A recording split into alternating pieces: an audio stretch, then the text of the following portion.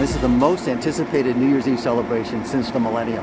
I think we're all ready to celebrate the end of 2020 and start 2021. And today we installed the Waterford Crystal Gift of Happiness triangles. We all need a little more happiness in 2021.